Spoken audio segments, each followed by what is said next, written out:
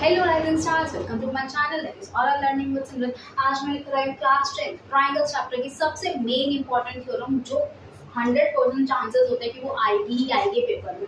चलो let's prove it if a line is drawn parallel to one side of a triangle यानी कि हमें एक ट्रायंगल बना लेना है, ठीक है? लेट्स ड्रॉ अ ट्रायंगल फिर से if a line drawn parallel to one side of a triangle यानी कि एक साइड ट्रायंगल के कोई भी एक लाइन पैरेलल ले लेते हैं। ये भी हमने to intersect the other two sides in the distant point यानी कि जो अदर टू साइड्स हैं, उसको एक दो अलग अलग पॉइंट्स पे काटते पहले हम ले लेते कि हमारे पास ए बी सी एक ट्रायंगल है। देन हमने एक लाइन बनाई है जो कि एक साइड ऑफ़ ट्रायंगल के पैरेलल है, और वो ए बी और ए सी को अलग अलग पॉइंट्स पे इंटरसेक्ट कर रही है, यानी काट रही है उसको। इसको अज्यूम कर लेते हैं डी एंड ई ठीक है? The other two side are divided in the same direction और ये जो भी हमारी लास्ट की लाइन होती है ना, इसको हमने प्रूव करना होता है। जो स्टार्टिंग की चीज़ दी हुई होती है ना, वो गिवन होती है। यानी जो स्टार्टिंग वाला होता है, वो गिवन होता है। और जो लास्ट वाली लाइन गिवन होती है ना, उसको हमने प्रूव करना होता है। ठीक है? यानी कि गिवन क्या है हमें? ट्राइंगल ए बी सी है और D E is parallel to one side of a triangle यानी कि डी ई पैरेलल है हमारे बी सी की। राइट और हमें प्रूफ क्या करना है? टू प्रूफ प्रूफ क्या करना है? The two sides are divided in the same ratio अब जो डी और ई e को पॉइंट काटा है ना इंटरसेक्ट करिए ए बी और ए सी लाइन को, वो इक्वल रेशियो में डिवाइड करिए, यानी कि A D by dB is equals to AE by EC. This upon this is equals to this upon this. ये हमें प्रूफ करना सो प्रूफ प्रूफ करने से पहले हमें क्या करनी पड़ेगी? कुछ कंस्ट्रक्शन कंस्ट्रक्शन क्या करते हैं? हम बनाएँगे। यहाँ से एक कुछ एम पॉइंट बना रहे जो कि इस पर, यानी कि ए बी पे परपेंडिकुलर सेम यहाँ से हम डी से एक लाइन लेंगे जो ए ई e को कट करेगी और वो परपेंडिकुलर होगी। यानी कि कंस्ट्रक्शन में क्या करिए हमने? D N is perpendicular to A C D N is perpendicular to A C and E M perpendicular to A ये चीज़ हमने कंस्ट्रक्शन ठीक है? और हमें ये चीज़ प्रूव करनी और हम प्रूव करेंगे area of triangles area area of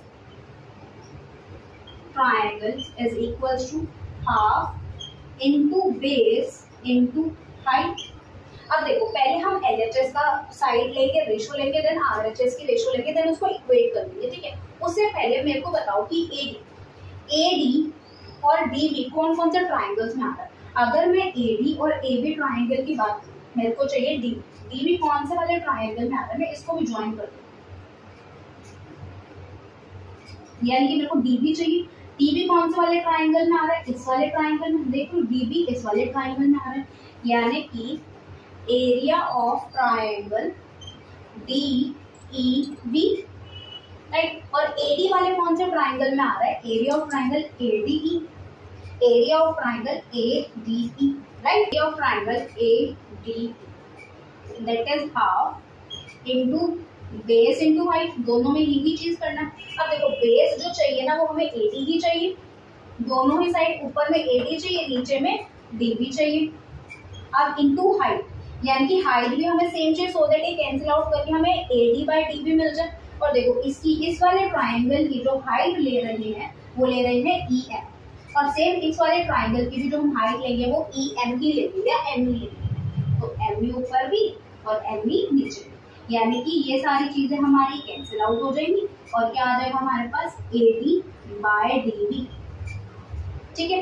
Let's say this is equation number same area of triangle कुछ लेंगे अपॉन में एरिया ऑफ़ ट्राइंगल कुछ लेंगे हमें ए ई e चाहिए ई सी चाहिए। अब देखो ए ई e कौन से ट्राइंगल में आएगा? ए ई e कौन से वाले ट्राइंगल में आ रहा है? ए डी ई वाले ट्राइंगल में आ रहा है। यानी कि area of triangle A D E ही लेंगे। और ई सी चाहिए। ई सी वाले कौन से? यानी कि ई सी चाहिए। ईसी कौन से वाले ट्राइंगल में आ रहा है? इस वाले ट्राइंगल में, यानी कि ए यानी कि डी ई सी में हमारा ईसी आ रहा है। Area of triangle D E C same half into base into height नीचे भी half into base into height हमें ऊपर बेस ए ई ही चाहिए और नीचे ई सी ही चाहिए। अब हाइट देखो हाइट कौन सी चाहिए? हमें चाहिए ये वाली डी एन ठीक है? डी एन वाली हमें हाइट चाहिए। सो दैट ये इस वाले ट्राइंगल में भी हाइट है और हमारे इस वाले ट्राइंगल में ये भी हाइट है। और सेम ही हाइट लेंगे दोनों में सो दैट वो कैंसिल आउट हो जाए। ठीक है? ये से ये कैंसिल हाफ़ से हाफ़ कैंसिल यानी हमारे पास क्या आ गया? A this is equation number two अब देखो, हमें कोई भी चीज़ इक्वेट करनी है, हमें इतना पता है, इन दोनों चीज़ों को हमें इक्वेट करना है। तो अगर मेरे को फ़र्स्ट और सेकंड इक्वेशन को इक्वेट करना है तो मेरा एन एच एस सेम होना चाहिए, तभी मैं आर एच एस को सेम कर सकती हूँ। और जैसे मैंने आर एच एस को सेम किया, मेरा ऊपर वाला प्रूव हो जाएगा। अब एल एच एस देखो, हमारा कैसे प्रूव है ऊपर वाले का कोई issue A D E A D E भी है। अब नीचे वाला देखो डी ई बी है और डी ई सी है। हमें इन दोनों को इक्वल करना है। ट्राइंगल्स की एक प्रॉपर्टी होती है, अगर पैरेलल साइड्स अगर पैरेलल साइड्स है और उसके बीच में हमारा कोई भी ट्राइंगल फॉर्म हो रहा है ना, कोई भी, हम दोनों लाइंस को यूज़ करते हैं। तो इसका एरिया इसका एरिया और थर्ड वाले ट्राइंगल का एरिया सेम ही आता है। और सेम हमारा भी इसमें यही है कि ये डी है और ये बी सी है, ये दोनों पैरेलल है। और पैरेलल लाइंस के बीच में अगर कोई भी हमारा ट्राइंगल फॉर्मेशन हो रहा है तो वो क्या होगा? इक्वल होगा।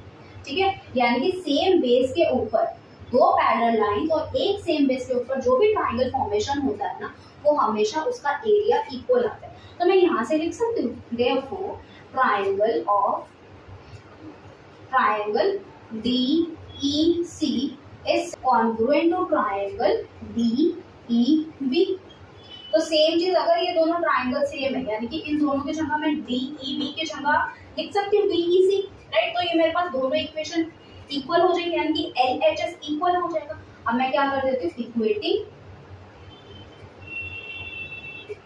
first and second first और सेकंड को जैसे ही मैंने इक्वेट करा, मेरे पास आ गया A D by D B is equal to A E by E C hence proof बस यही चीज़ मैंने को प्रूफ कर दी थी। वॉट मैंने क्या कह दिया इफ़ अ लाइन और इसके स्टेटमेंट में ना लर्न कर स्टेटमेंट लर्न करके लाना नॉर्मली क्वेश्चन आता है state and prove BPT theorem यानी कि स्टेटमेंट भी तुम्हें खुद ही लर्न करनी पड़ेगी if a line drawn parallel to one side of a triangle, if a line DE एक साइड ऑफ़ ट्राइंगल के पैरेलल यानी कि BC के हम इसको पैरेलल लेते हैं।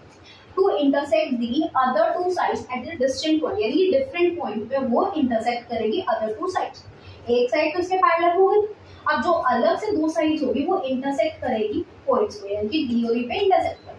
The other two sides are divided in the same ratio, और जो other two sides बची है, उसको वो same ratio में डिवाइड करें तो इसको मैंने कैसे प्रूव किया? नॉर्मली पहले मैंने एरिया लिया दोनों को एरिया को डिवाइड किया. मेरे को A D by D B चाहिए.